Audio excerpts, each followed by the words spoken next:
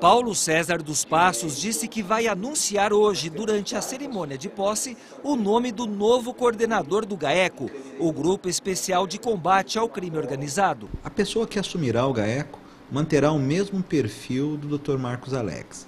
Agirá com rigor, agirá com independência, sempre visando o interesse público em primeiro lugar. Aquele que assume o GAECO está umbilicalmente ligado com os ideais que movem o Ministério Público, que é servir a comunidade e agir com rigor com aquelas pessoas que se desviam da legalidade.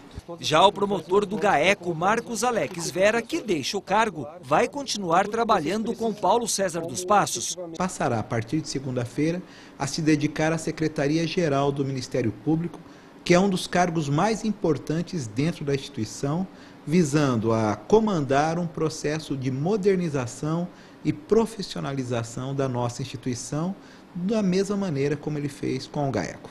O Ministério Público Estadual está à frente de duas grandes investigações. Uma se refere à Operação Coffee Break, sobre a compra de votos para a cassação do prefeito Alcides Bernal. Em relação à Coffee Break, o novo Procurador-Geral de Justiça disse que agora em maio vai oferecer denúncia contra várias pessoas.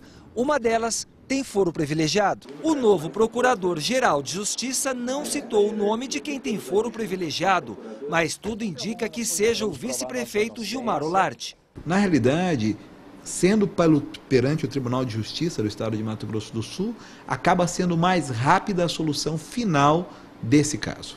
O MPE também investiga o desvio de dinheiro público em obras estaduais.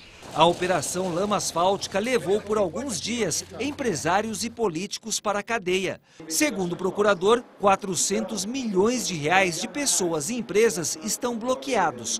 Existem 60 inquéritos civis e quatro ações penais em sigilo. Esse grupo de promotores foi designado pelo prazo de um ano. Entretanto, existe um grande acervo de provas que eles estão se debruçando. A análise tem que ser feita de maneira criteriosa.